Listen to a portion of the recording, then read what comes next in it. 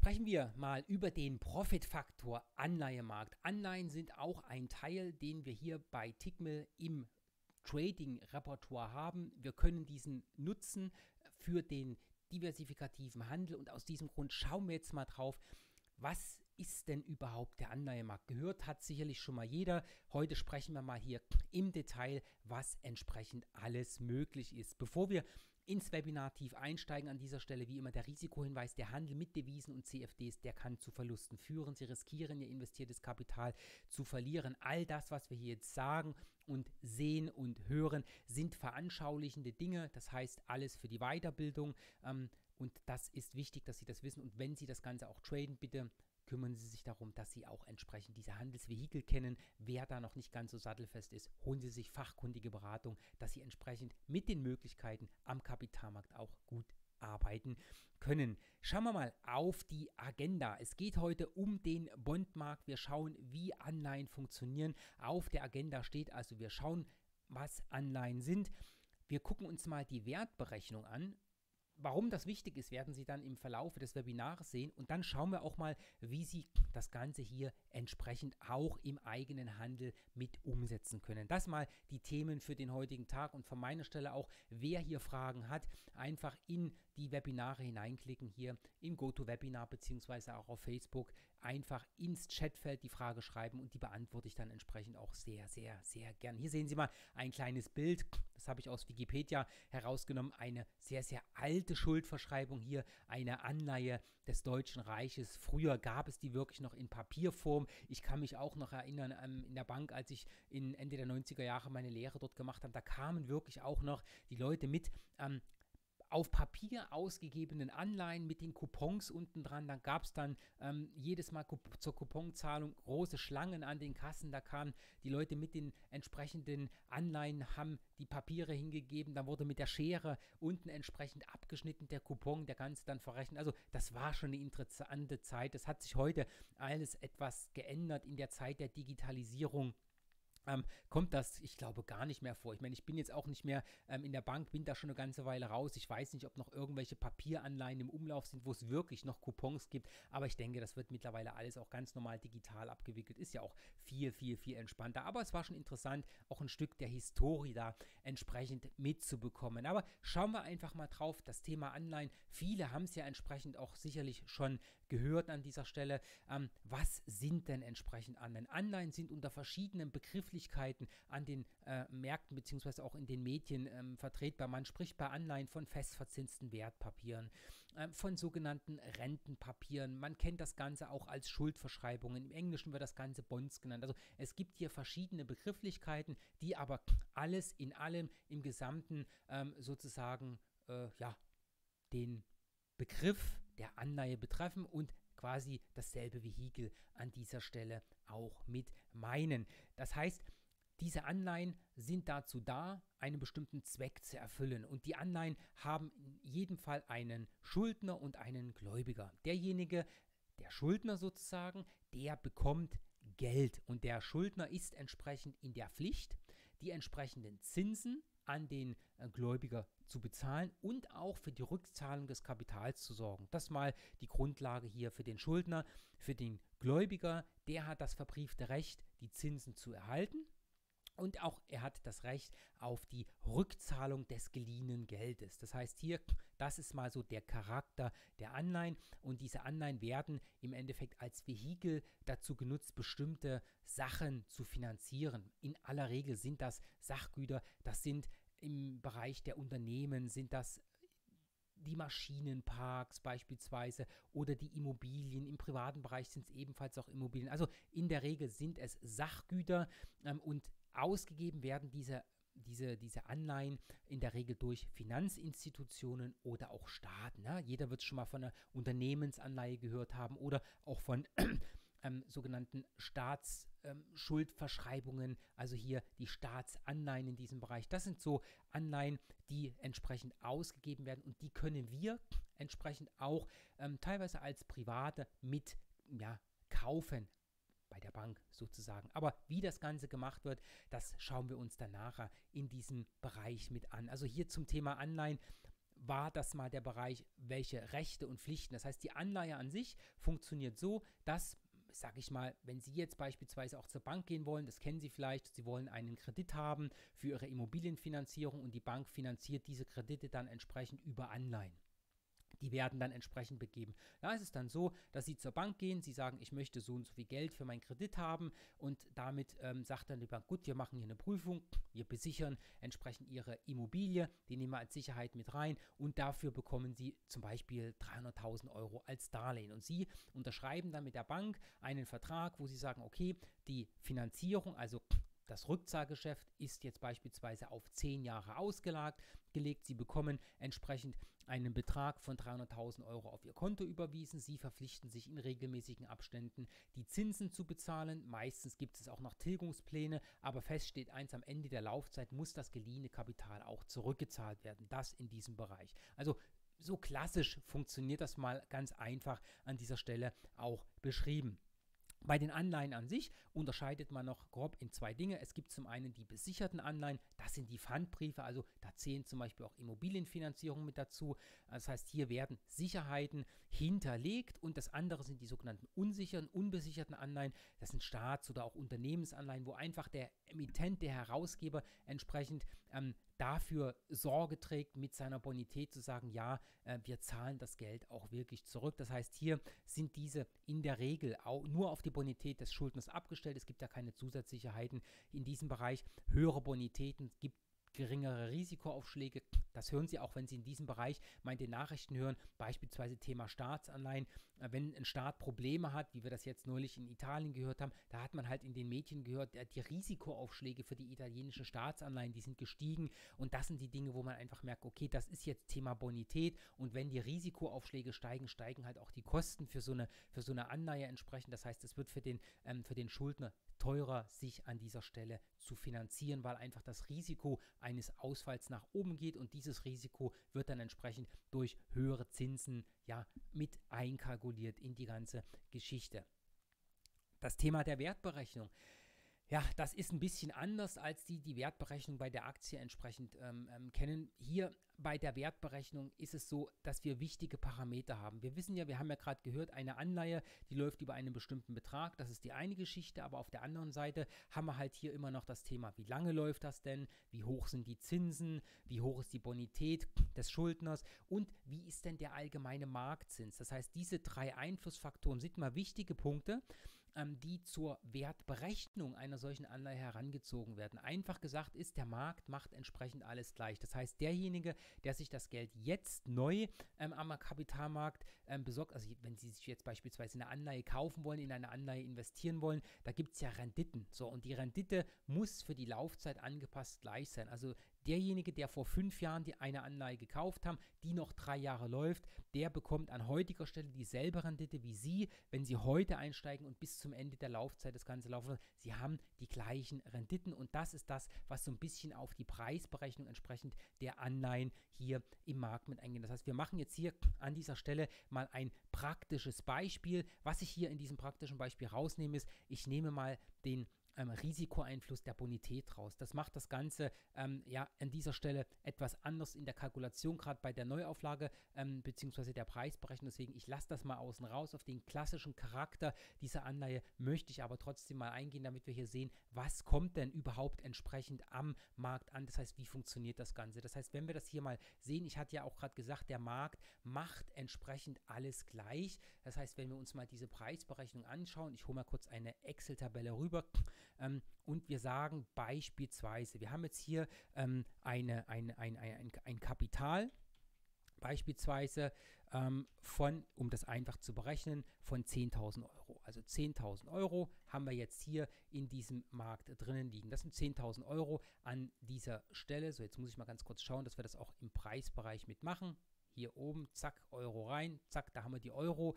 Ähm, dann haben wir entsprechend äh, die, die Zinsen, also den Zins, sagen wir mal, eine Anleihe von 3%. Das heißt hier 3%ige Anleihe und wir haben eine Laufzeit von fünf Jahren beispielsweise. Dann ist es so, dass wir jetzt am Ende,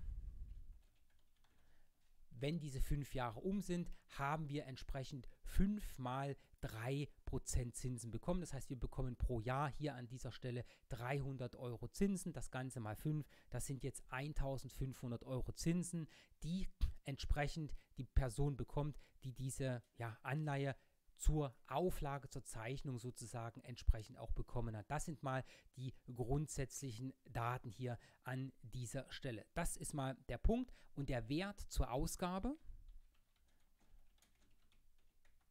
sind 100 Prozent und der Wert zur Rückgabe, also wenn die Anleihe zurückgezahlt wird, ist ebenfalls 100 Prozent. Ja, das heißt, Sie zahlen am Ende das Geld was sie bekommen haben als Schuldner zurück.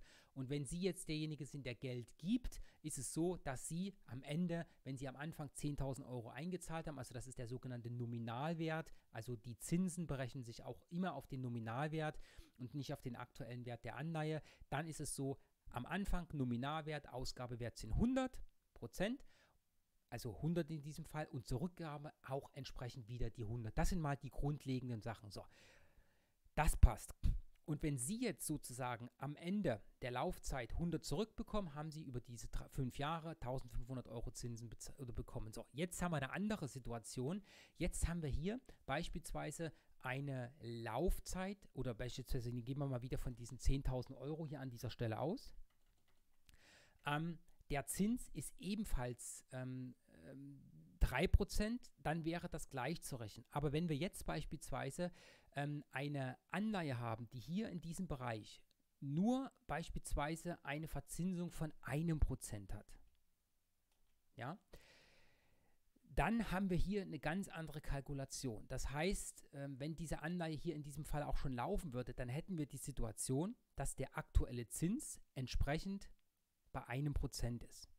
Aber der Markt macht über die Zeit alles gleich. Das heißt, an dieser Stelle ist es so, dass die Rendite am Ende ich schreibe hier oben mal hin, Zinsen, Schrägstrich Rendite, das ist wahrscheinlich das bessere Wort, dass das gleich ist. Das heißt, der Markt, der macht das Ganze gleich an dieser Stelle. Das heißt, hier müssen wir am Ende, na, ich mache das Ganze mal klein,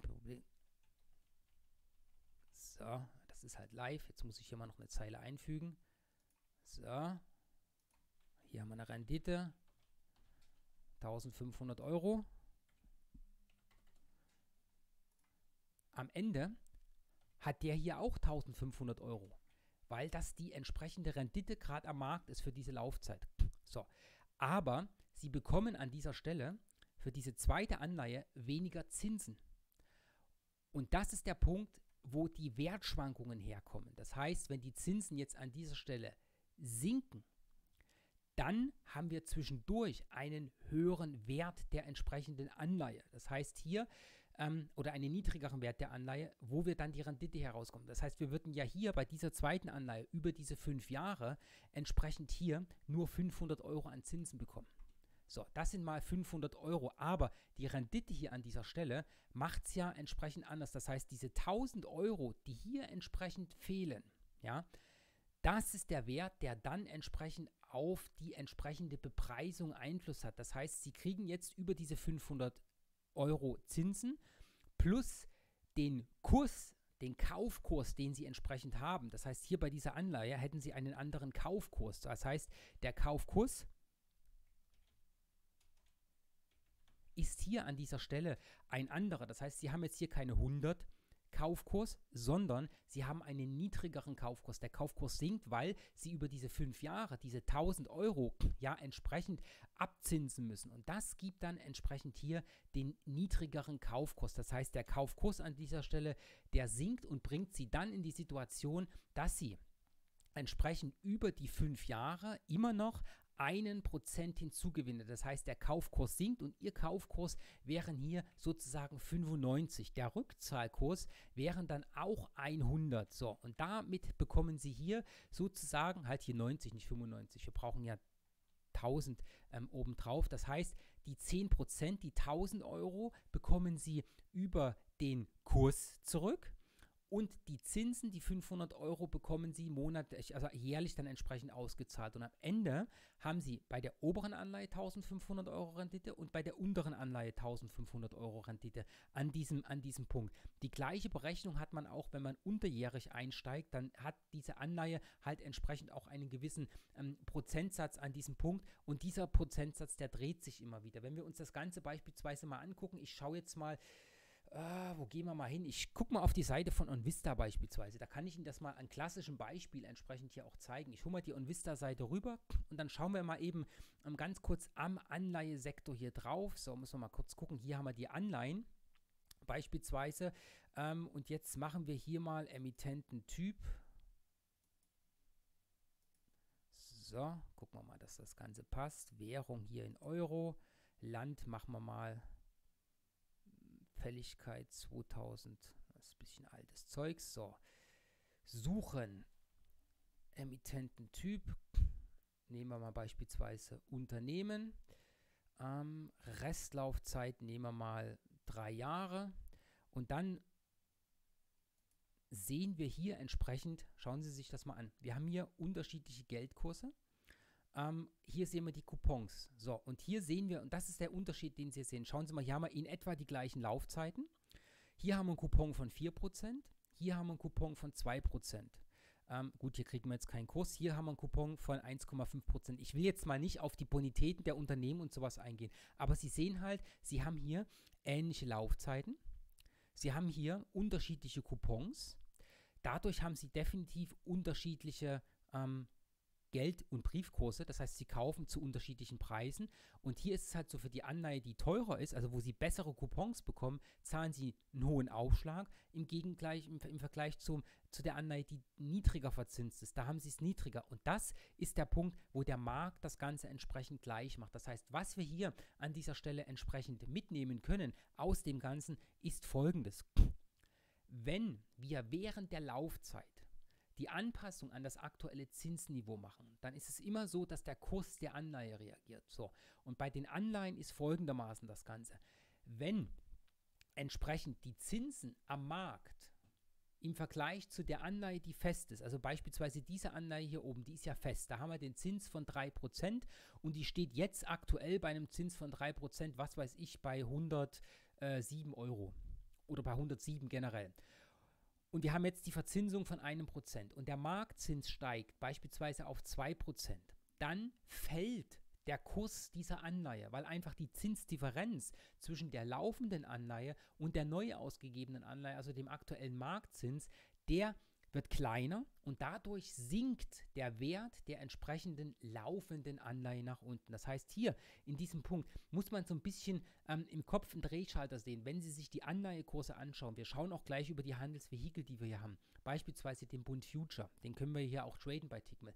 Da ist es so, steigende Zinsen haben negative Auswirkungen auf die Kurse. Das heißt, wenn die Zinsen steigen, sinken die Kurse der Anleihen. Und das ist die wichtigste Nachricht hier an diesem Punkt, die wirklich mitzusehen kommt, dass man das Verständnis dafür, steigende Marktzinsen wirken negativ auf die Kurse der Anleihen, fallende Marktzinsen wirken positiv auf die Kurse der Anleihen. Das ist mal das, was man hier entsprechend auch mit sieht. Also das mal zur Wertberechnung wirklich ganz vereinfacht.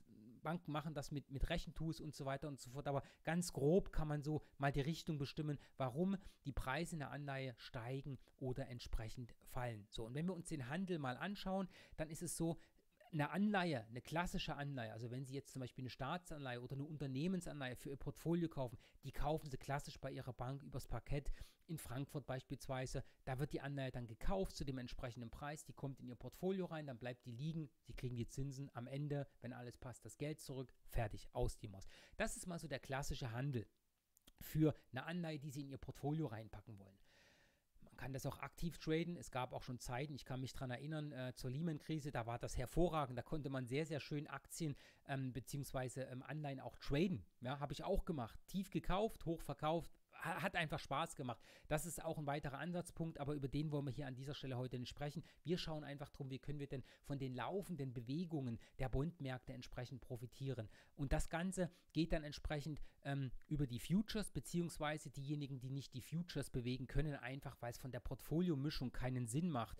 Ähm, da ist es so, dass wir hier bei Tickmill die CFDs drauf haben. Und da haben wir entsprechend hier die CFDs auf die entsprechenden ähm, Futures. Und bei den Futures ist es so, wir haben hier vier verschiedene Laufzeiten. Wir haben kurz, mittellang und sehr lange Laufzeiten. Das schauen wir uns auch gleich mal an. Diese Informationen, wie diese Futures funktionieren, die finden Sie beispielsweise auf der Eurex. Ich suche die Website der Eurex gerade mal ganz kurz raus. Kleinen Augenblick. So, Eurex, da haben wir sie.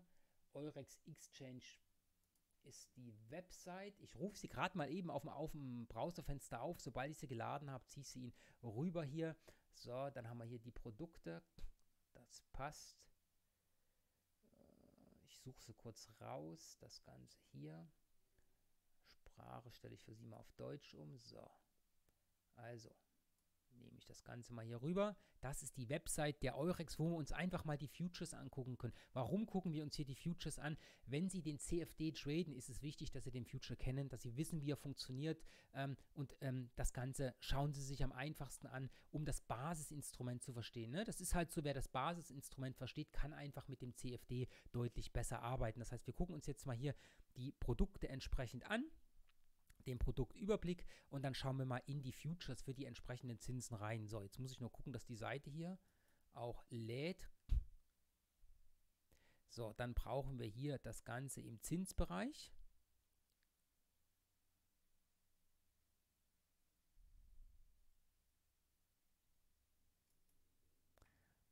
So. Und da sehen wir hier diese entsprechenden Werte. Und wenn wir da hier draufklicken, beispielsweise beim Euro-Bund, da bekommen wir dann die Informationen, die ich Ihnen auch schon ins Webinar mit eingeblendet habe. Die Seite hier ist ein bisschen langsam im Zugriff, da müssen wir mal kurz ein bisschen Augenblick Geduld haben. Da finden wir dann alle Informationen, die wir hier entsprechend auch mit brauchen.